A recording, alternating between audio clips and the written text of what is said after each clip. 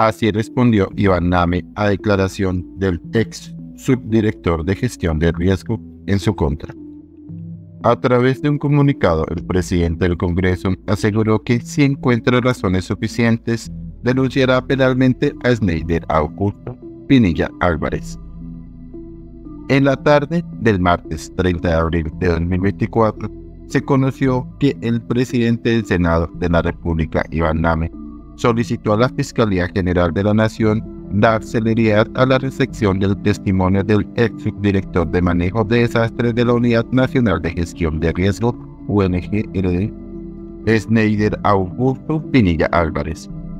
A través de un comunicado a la opinión pública, el senador Nami le solicitó a la Fiscalía 79 especializada Dirección contra la Corrupción recibir cuanto antes la declaración del exfuncionario.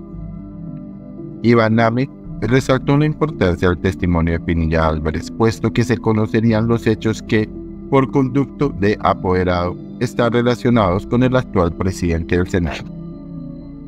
Por último, aseguró que, una vez conozca las declaraciones del exfuncionario, procederá a interponer las acciones legales correspondientes si encuentra razones suficientes para hacerlo. La solicitud de Barnami llega horas después de que la Procuraduría General de la Nación anunciara la citación de Pinilla Álvarez para rendir declaración libre el jueves 2 de mayo de 2024. Las pruebas que Pinilla entregará a la Fiscalía.